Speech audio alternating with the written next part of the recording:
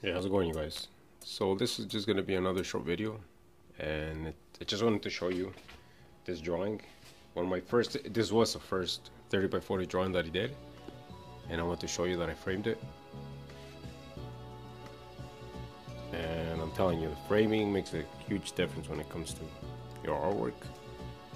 It brings it to a whole different level. It's not just a piece of paper anymore. This is this is one of my favorites. This is a Siberian tiger, and I've always loved drawing tigers. So, yeah, so here's a little little detail. This was not as detailed as my other ones, but I just I just love the the look that it has. And those are the Altai Mountains in western Siberia. These took a, these took a long time to draw. But I love the way they look.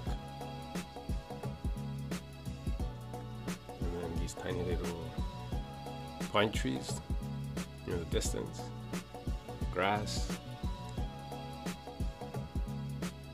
lake reflection, grass.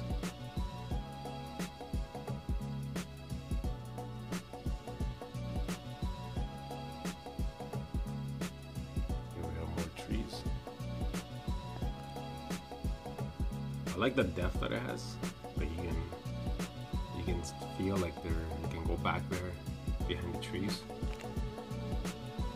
Here's the other side of the mountains.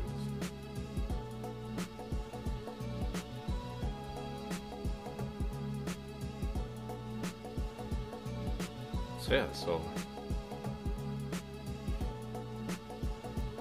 just wanted to show you guys my first 30 by 40 drawing that I, I did, and from this I've done other ones after this one, but this one will always be the first, and I really love the way it looks.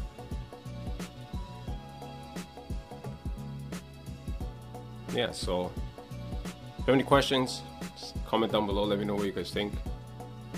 And uh, don't forget to like, subscribe, share, and I'll see you guys next time. Thanks for watching.